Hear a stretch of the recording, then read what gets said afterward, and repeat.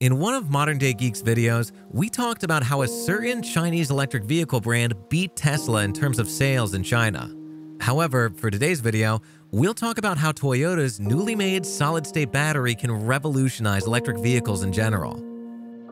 Car batteries are one of the most important components in a car because it relies on this energy source to keep running.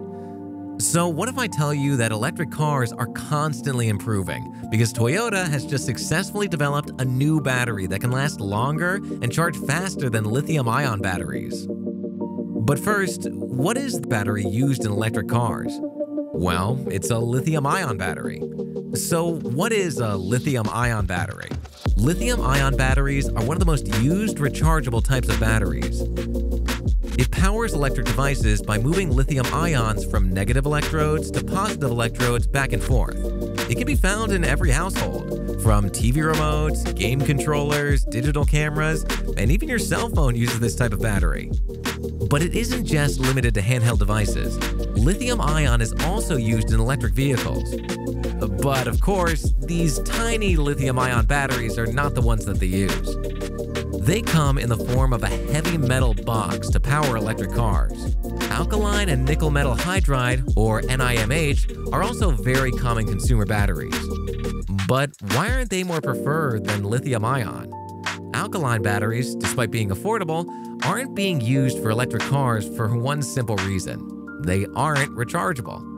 Nickel metal hydride, or NIMH, are rechargeable and can support high voltage and high current, However, in order to maintain a healthy NIMH battery, you have to drain it first and fully charge it all the way. With lithium ion, you can charge it whenever you want without sacrificing long term effects.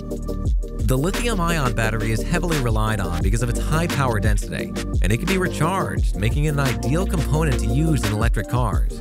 Its power density can range from 100 to 200 watts per hour or kilogram. Its high power density was proven when Tesla's Roadster made use of the lithium ion battery to power the vehicle and make it travel for more than 200 miles with just a single charge. The battery can also last for more than 8 years of its average lifespan. The charging time of the battery is faster as well, which takes at least one hour to charge. This has greatly improved the electric vehicle industry through leaps and bounds. But even if lithium ion batteries brought in benefits, they also had serious problems. One of them is the high combustibility of the battery when exposed to high temperatures. The batteries may explode from the heat and cause serious damage. Yikes! Sadly, lithium ion batteries are temperature sensitive and require protection from hot and cold temperatures to prevent overcharging and discharging. If not protected properly, it can lead to battery burning or combustion. This can become dangerous for anyone because they can get into car accidents. The circuitry also needs protection to maintain the safe limit of the battery. But this leads to added weight on the car, which not only impedes its performance, but also adds cost to the materials. The lithium ion battery is quite large and it occupies one third of the car, adding more weight to the vehicle's tires. This weight wears down the tires. The engineers make the car design become more complex to balance the weight distribution to accommodate the lithium ion battery. Even the materials used for the battery are expensive as well. Materials like nickel, cobalt, and lithium are examples of these expensive materials. Since the electric vehicle industry relies on these materials, the demand will just keep on increasing. Hmm, if only there's a better type of battery to solve these problems. Hmm. Introducing the solid state battery. Toyota, the car brand, has been leading the race in producing the best battery for an electric car. Samsung, QuantumScape, and Brightvolt are some of Toyota's rivals in creating a revolutionary solid state battery. However, Toyota has been the top most successful in producing such innovative batteries so far. Toyota's solid state battery solves a lot of lithium ion's problems, such as explosive tendencies, weight, size, price, and performance over time.